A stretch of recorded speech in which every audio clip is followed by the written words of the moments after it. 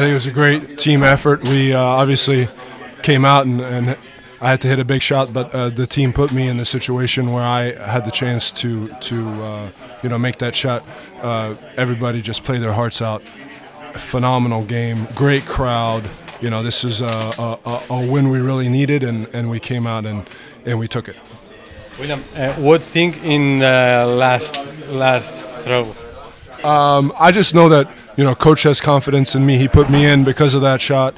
Uh, my teammates have confidence in me every day in practice. You know, this is a shot we work on. So I just came out and did what I normally do, and and uh, you know, it was the game winner. So. Uh, Thank you.